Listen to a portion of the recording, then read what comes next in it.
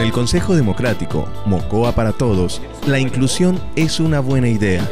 Se dio inicio al ciclo de talleres democráticos organizados por el proyecto político de las buenas ideas que transformarán a Mocoa, en cabeza de John Jairo Imbachi López. Estos son unos espacios abiertos para toda la población de Mocoa, en los que se quiere recoger las voces de todas las vertientes políticas e ideológicas con un solo fin, construir una propuesta que de verdad responda a las necesidades de la población mocoana y se pueda proyectar una ciudad en el largo plazo. Queremos construir una visión de futuro compartido e integral de la ciudad que queremos, de la Mocoa que todos queremos ver en el largo plazo y para esto es necesario contar con la participación de cada uno de los actores. Hoy nos encontramos reunidos acá con diferentes sectores.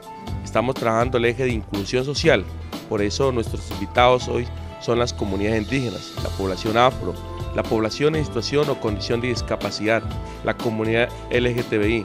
Con cada uno de los actores, con las mujeres, con cada uno de los representantes, vamos a construir esta propuesta.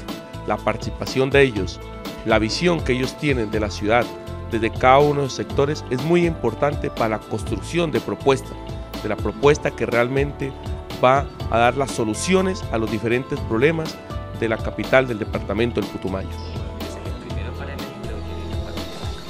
En este espacio quedó claro que la Mocoa ideal es una ciudad en la que todos seamos tenidos en cuenta, independientemente de nuestra raza, color de piel, religión, credo, inclinación o preferencia sexual y que no importa si tenemos limitaciones físicas.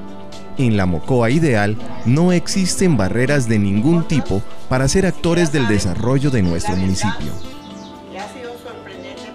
Sí, el proyecto político eh, Buenas Ideas que transformarán a Mocoa pues, eh, ha concebido este procedimiento eh, como algo innovador, ya que Anteriormente los eh, programas de gobierno se construían a partir de dos o tres o cuatro sabios que se reunían en una casa, eh, en una oficina y organizaban ese programa. Ahora lo que se pretende es que eh, el, proceso sea lo contrario, que vaya desde la base hacia el vértice de la pirámide, que vaya desde la base hacia arriba y no desde arriba hacia abajo representantes de grupos indígenas, comunidad negra, población en condición de discapacidad, población LGBTI, todos forman parte de este proyecto de ciudad.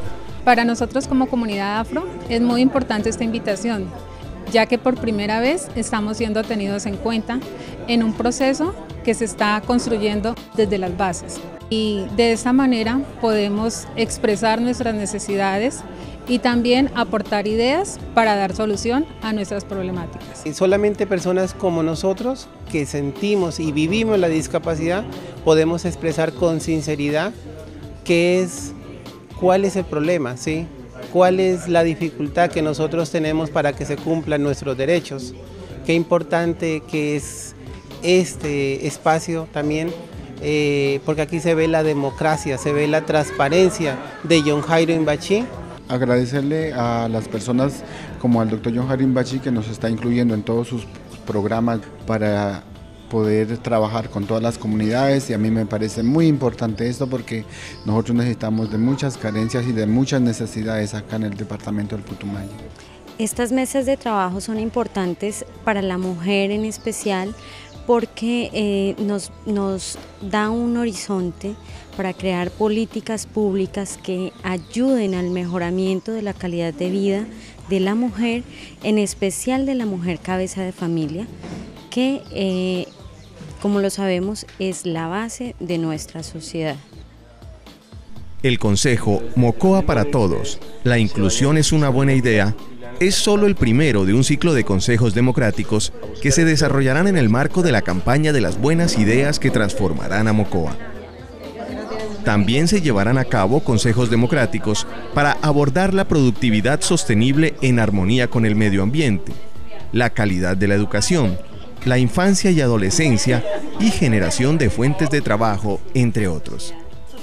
Estén pendientes de nuestra página en Facebook de John Jairo Imbachi López. Dale me gusta y sigue todos nuestros contenidos. Comienza un nuevo ciclo. Es tiempo de las buenas ideas. Únete.